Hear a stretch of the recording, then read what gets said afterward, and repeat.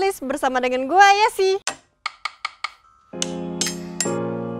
Salah satu alasan nonton drama Korea adalah penampilan para pemerannya. Gak heran ada yang tertarik karena pemerannya menawan. Tapi ada juga yang tertarik karena penampilan berbeda dari sang artis. Misalnya rela tampil buruk. Mereka yang dikenal dengan kecantikannya berani mengubah penampilannya demi acting. Hasilnya, peran mereka pun diingat penonton karena berhasil menampilkan sosok berbeda dengan all out banget. Biasanya dalam perannya, nggak jarang mereka jadi korban bullying yang kisahnya dibikin simpati sekaligus motivasi. Kali ini Kincir Senama Club ingin ngebahas artis Korea yang berani tampil buruk. Siapa aja? Yang pertama ada Moon Gayong. True Beauty jadi drama Korea hit menyambut awal tahun ini. Drama ini menceritakan tentang Lim Joo Kyung yang dikenal sebagai gadis cantik di sekolah. Berkat kemampuan riasan wajah yang dipelajari di YouTube, padahal sebelumnya Joo Kyung dikenal sebagai cewek SMA yang memiliki wajah yang jelek dan selalu dibully. Yang kedua ada Hwang Jung Eum. Kalau biasanya dari jelek berubah jadi cantik, ini nggak berlaku untuk Jung Eum yang berperan sebagai Hejin di She Was Pretty. Hejin dulunya adalah wanita cantik, tapi setelah dia dewasa, dia tumbuh menjadi seorang wanita yang gak peduli dengan penampilannya. Ini disebabkan keadaan hidupnya yang bangkrut. Yang ketiga, Ayu. Ayu dikenal sebagai penyanyi dan aktris yang selalu memukau di atas panggung atau di depan layar. Saking totalnya, dia berani tampil berbeda 180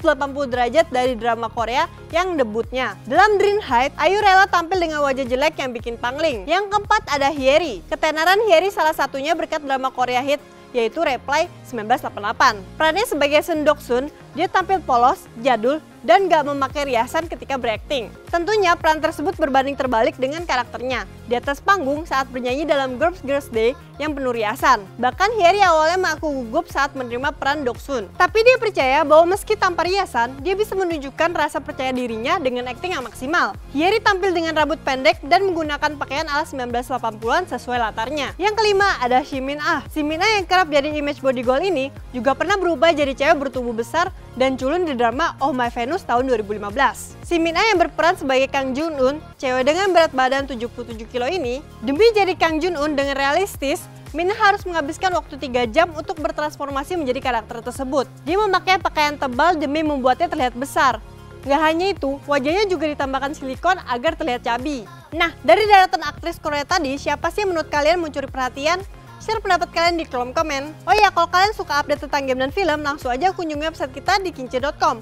Kalau di situ ada banyak pembahasan tentang game dan film, lo langsung bisa cek ke websitenya. Oke, cukup sekian hotlist kali ini bersama dengan gue sih. Bye-bye!